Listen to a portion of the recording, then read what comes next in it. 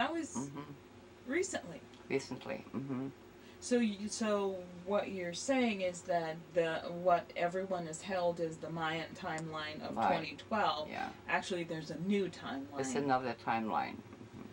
that that's Right, interesting yeah. because that's yeah that's more in line with with um, sort of where my thinking is Mhm. that there's not well, it- you know it's kind of like the new millennium Yeah. everyone felt okay everything's gonna shut down and and you know and there was all this preparation and all this and then when it happened everyone was like what did we just spend the, the last 20 years Do you remember focused on. everybody was so upset with me because I refused to do a show on Y2K?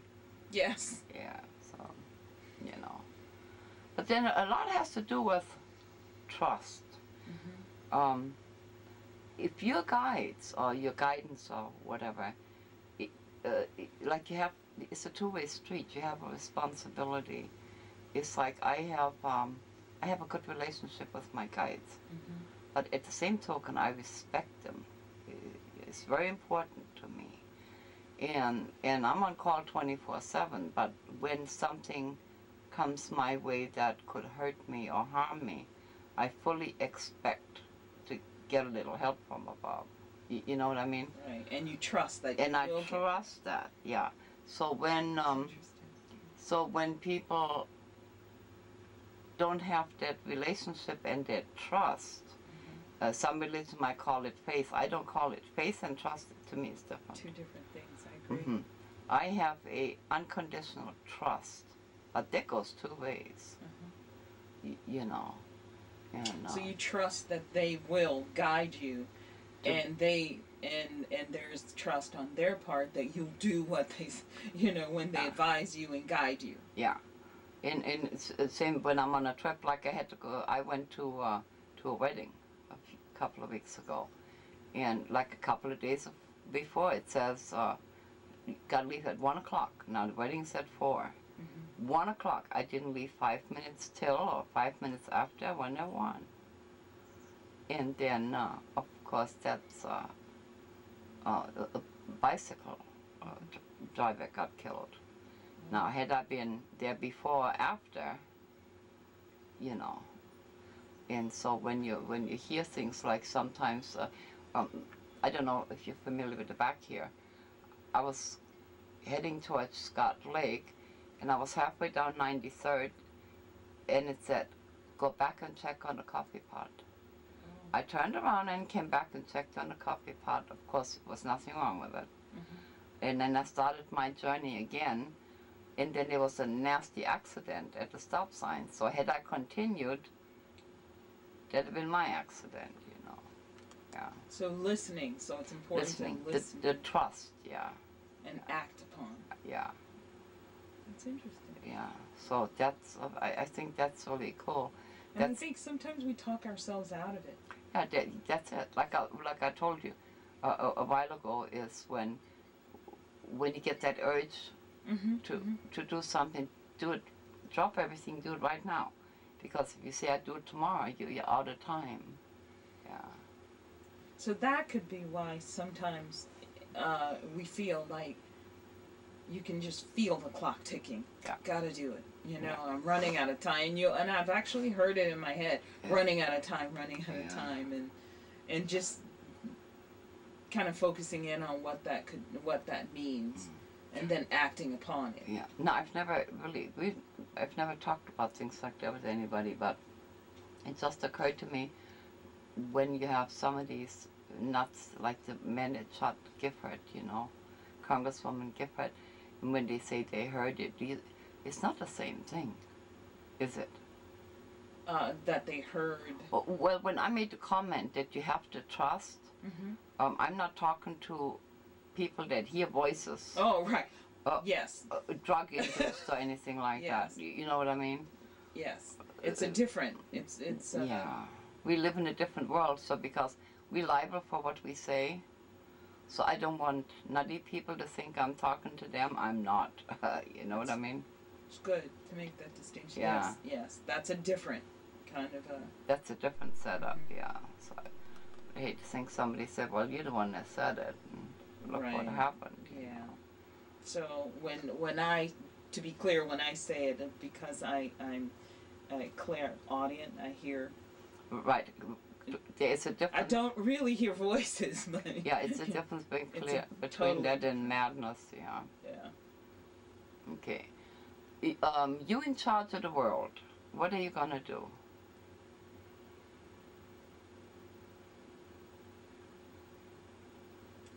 Ensure people have food to eat and health care. And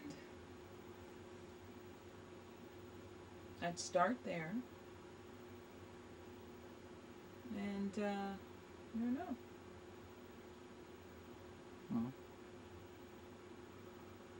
Okay. If you didn't have to go to work or anything, and uh, you could just get up and do whatever it is, what would it be that you would? What would I do?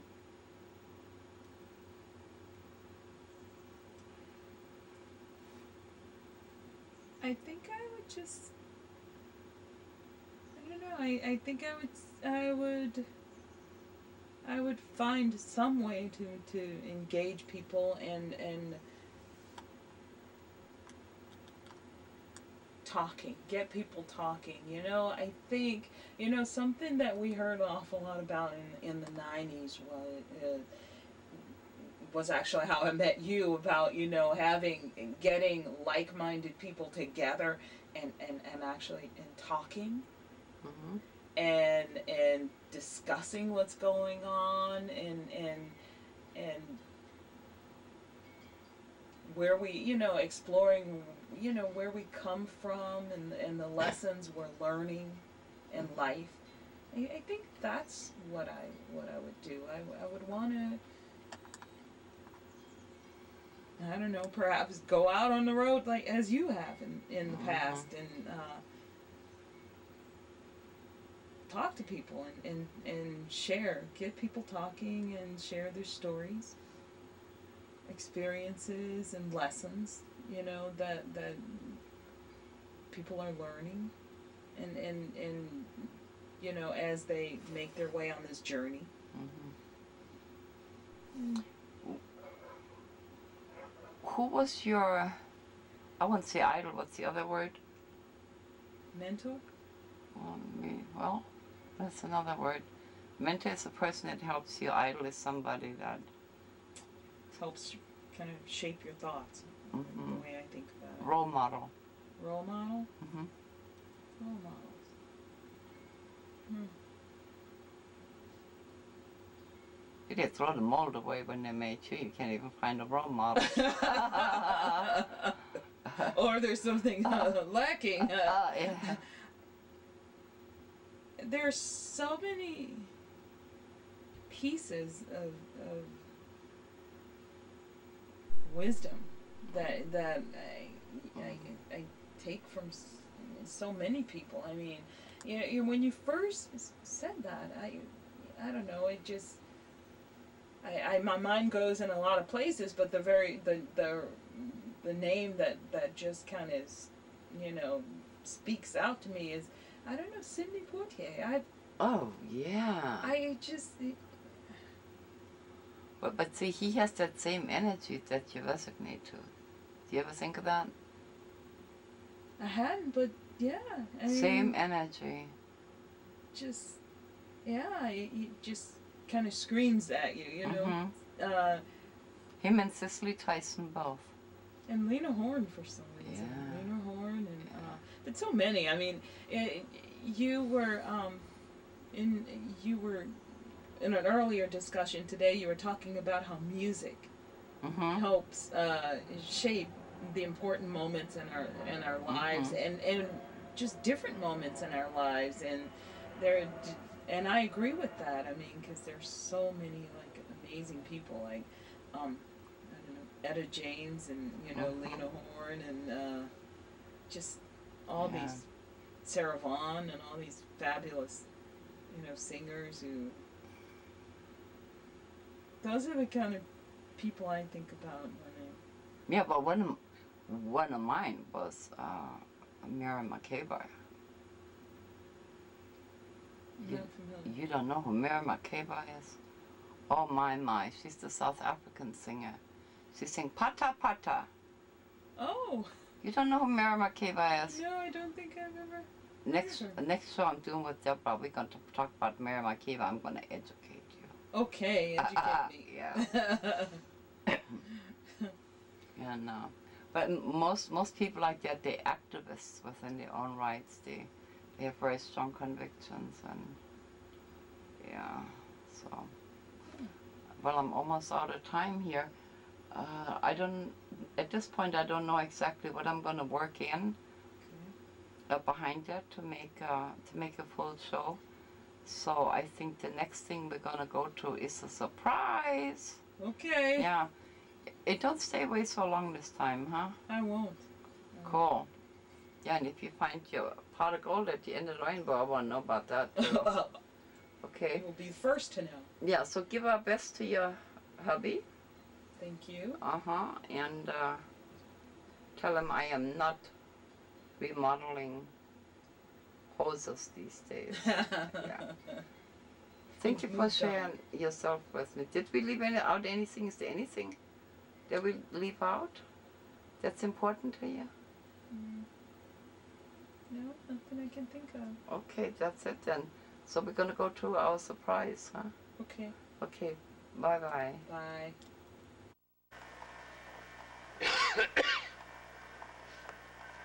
This is Mike with a visit of, for a person of high strangeness. And uh, we're here. And uh, we're trying to uh, get things together. One of the things we want to talk to you about is always carry a compass, a map. This one's of Washington. A uh, cell phone, naturally your keys, a hat, a shirt, and water when you go on a hike like this. Now we're here at the Ice Caves. It's 25.7 miles away from Granite Falls, and we're head we headed east, and uh, that's about uh, the way it is right now. And so we'll let you know further about what we're doing and where we're going. We're going to walk through and, and take pictures individually.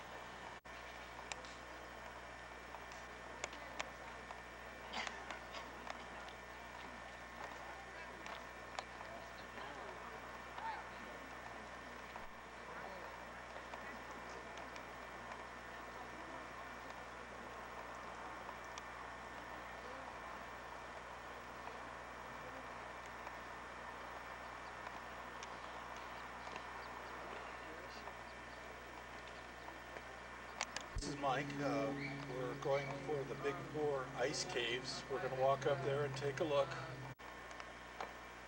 Uh, to the left over here, going that way, like this, is a picnic area that you can go to.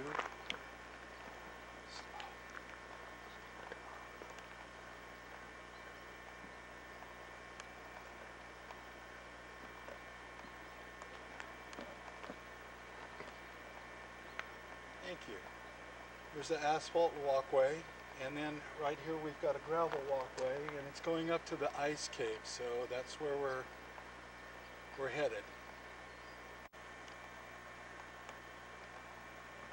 Yeah, off to the both sides we have kind of a swampy area. It's uh, filled with water and with plants and different things. And it's on both sides of the uh, the road here. And so we're going to head right up towards the ice caves.